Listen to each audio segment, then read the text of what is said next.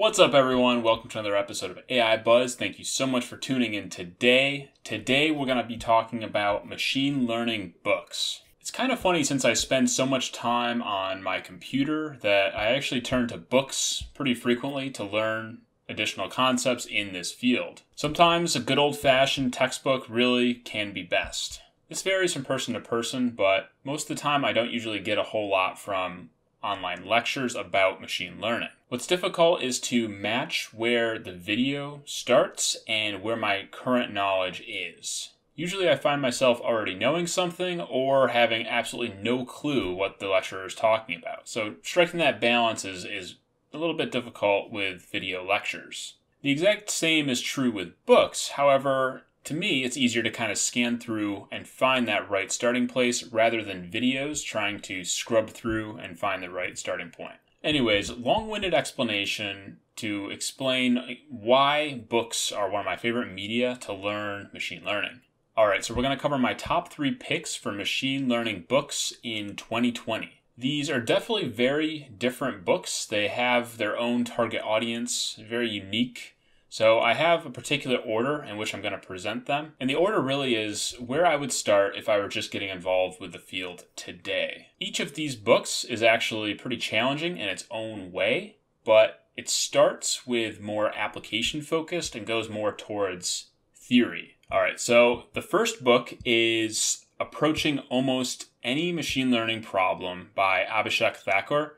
And this book is really great for anyone just starting out in the field or people who have actually been involved in the field for a long time. Probably one of the main reasons that you're going to be getting this book is because Abhishek is an absolute legend within the Kaggle community. He was the first quadruple grandmaster in Kaggle, so this means he not only knows how to train models extremely well, but he's a great communicator too. And don't be fooled, it's extremely difficult to place that well in Kaggle competitions, so have no doubt he is an expert at applying machine learning to real world business problems that are put forth by some of the, the biggest companies around. This book focuses a lot on application and is going to include a lot of code for you to try.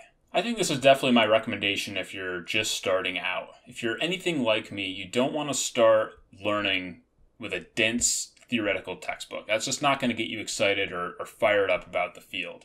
Even though my graduate school research used some data science methods, I wasn't actually formally introduced to the topic and didn't get excited about it until I saw the Titanic dataset on Kaggle. And ever since that happened, I've pretty much been obsessed. Actually, doing things and getting your hands dirty gets you excited in this field. That's one of the awesome things about it. You want to spark enough curiosity and questions that leave you challenged but not discouraged. And this is exactly what I think you're going to get out of Abhishek's book. It's going to get you excited and leave you wanting more, which may lead you into buying some of the other books I'm going to cover next. The next book that I'd recommend that I would say digs a little more into the theory of machine learning is the 100 page machine learning book.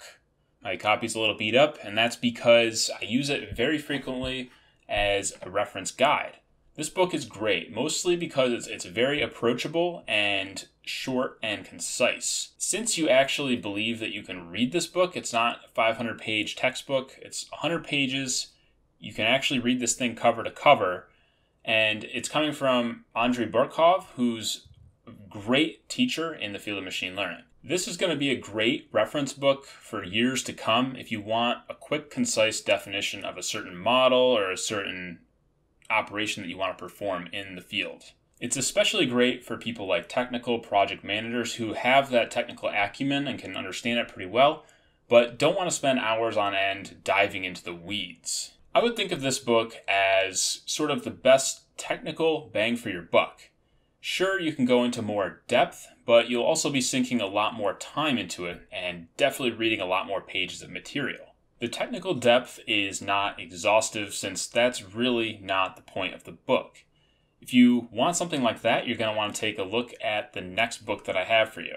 And that book is Mathematics for Machine Learning by Deisenroth, Faisal, and Ong. This is the book to go to if you want to get into the weeds. If you want to delve into the subject and really understand it from its core, buy this book and fight through it. This is one of the best put together books of the details of machine learning models that I've seen.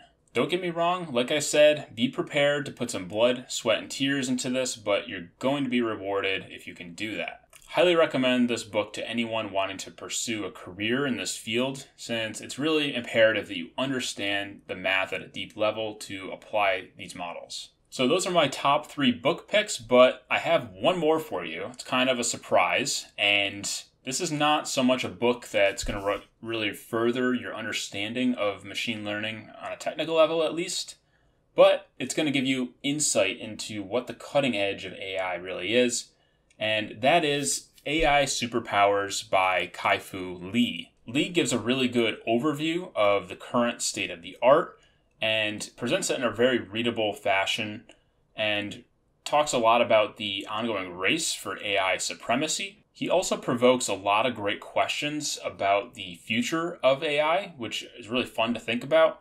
And he even throws in a pretty touching personal story about what makes humans human I would highly recommend this book to anyone who wants a break from reading about technical things and still wants to read something AI related but doesn't want to be doing equations or, anything like that. Definitely recommend this one. Check it out. Well, that's about all I have for you today. Thank you so much for tuning in to this episode of AI Buzz. If you enjoyed the video, consider giving it a like as well as a comment down below. Also, consider subscribing to the channel. I'd really appreciate it. Thanks so much and have a great day. Bye.